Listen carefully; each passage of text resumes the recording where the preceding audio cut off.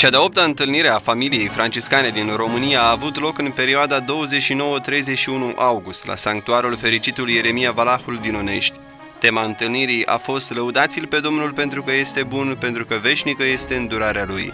Au participat cele două mari ordine franciscane, conventualii și capucinii, de asemenea frații terțiari, precum și cele 12 familii franciscane feminine prezente în România. Clarisele au fost alături de întreaga familie franciscană prin rugăciunea lor asiduă în clauzură și printr-o frumoasă scrisoare trimisă cu ocazia acestui eveniment. Programul a cuprins momente de rugăciune și adorație, Sfânta Liturghie, conferințe, discuții în grupuri mici și mărturii personale. Cele trei zile s-au încheiat cu un mini-concert religios.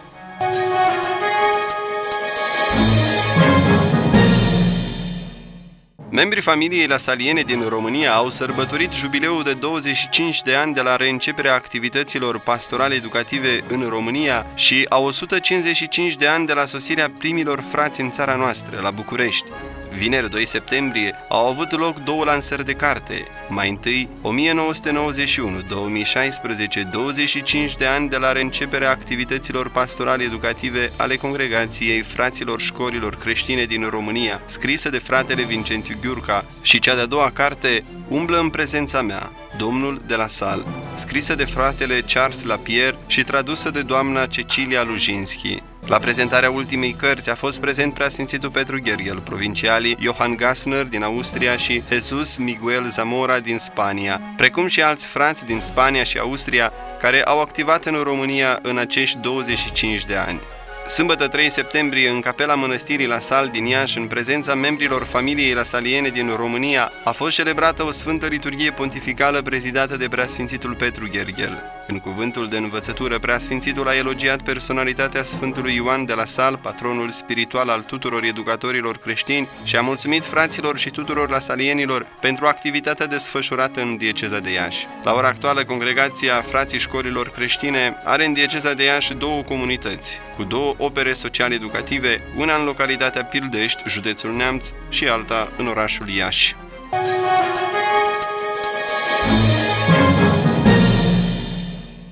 Peste 500 de credincioși din parohiile Sfânta Tereza Pruncului Isus, inima neprihănită a Mariei, fericitul Ieremia Valahul și Isus Bunul Păstor, toate din Roman, împreună cu preoții parohi, au mers în pelerinaș sâmbătă 3 septembrie la sanctuarul de la Cacica pentru a trece prin Poarta Sfântă și pentru a o întâlni pe Maica Milostivirii. Credincioșii au avut ocazia să-i mulțumească lui Dumnezeu pentru darurile primite, precum și să ceară prin mijlocirea Mariei noi haruri atât pentru ei cât și pentru cei dragi ai lor. După trecerea prin Poarta Sfântă a urmat Sfânta Liturghie și adorația euharistică, pelerinii primind indulgența jubiliară.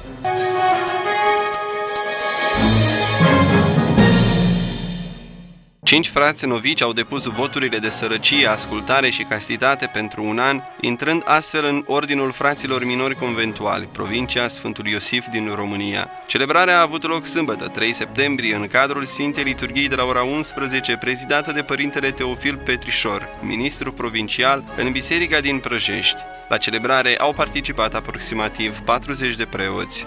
Duminică 4 septembrie, în biserica din Luizii Călugăra, fratele Cristinel Gal a depus voturile evanghelice pe viață în cadrul Sfintei Liturghii de la ora 18, prezidată de Părintele Teofil Petrișor.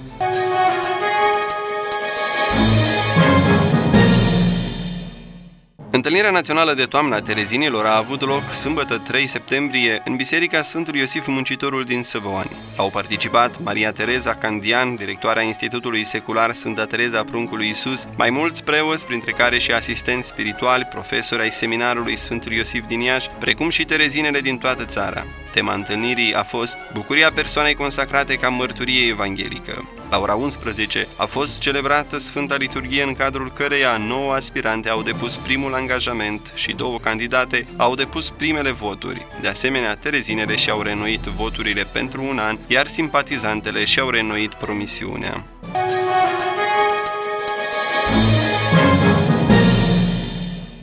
Maica Tereza, în toată existența sa, a fost împărțitoare generoasă a milostivirii divine, făcându-se disponibile tuturor prin primirea și apărarea vieții umane, cea nenăscută și cea abandonată și aruncată. Astfel a prezentat-o Papa Francisc pe Maica Tereza de Calcuta, cea care este numită misionara milostivirii. Liturgia de canonizare a Maicii Tereza de Calcuta a fost prezidată de Papa Francisc duminică 4 septembrie, începând cu ora 10.30 în piața Sfântul Petru din Vatican. La celebrare au participat aproximativ 120.000 de persoane. Zeci de mii de participanți erau din rândul asociațiilor de voluntariat care au încheiat duminică celebrările jubiliare în contextul jubileului milostivirii. De asemenea, au fost prezente mai multe grupuri de pelerini catolici, dar și de altă religie, din Albania, India, Mexic, Nigeria și alte țări. La Sfânta Liturghie au concelebrat aproximativ 70 de cardinali, 400 de episcopi și peste 1700 de preoți. În cadrul omiliei, Papa a scos în evidență preocuparea Maicii Tereza pentru cei mai slabi și mai marginalizați oameni ai societății. Luni 5 septembrie, în piața Sfântul Petru, cardinalul Pietro Parolin a prezidat o sfântă liturghie de mulțumire pentru canonizarea Maicii Tereza de Calcuta.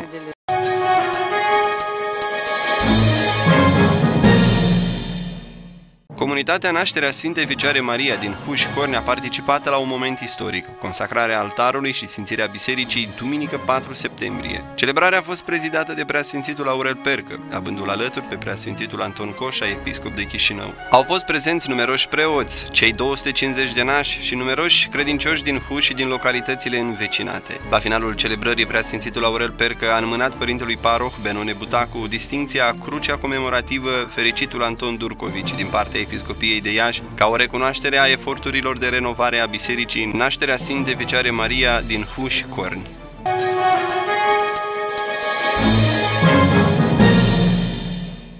Duminică 4 septembrie, în Biserica din Răchiteni, după Sfânta Liturghie de la ora 18, a avut loc prezentarea lucrării Am suferit pentru Biserica lui Hristos, Viața Părintelui Ion Pârțac, publicată de editura Sapienția, autor fiind Părintele Dr. Fabian Doboș și Dr. Dănuț Doboș.